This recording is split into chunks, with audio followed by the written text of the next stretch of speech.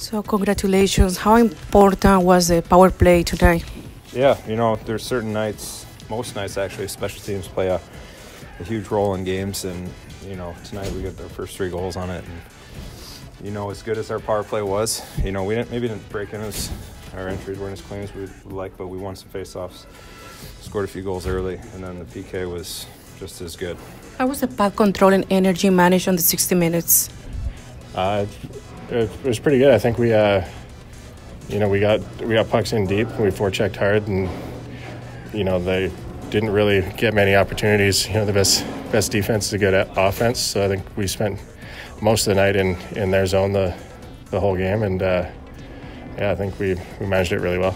How do you find the determination and motivation to help your team to win tonight? It's Thanksgiving yesterday, so it's a good day to play some hockey. Congratulations, Peter. Uh, what do you think about the development of the four lines before playing away from home?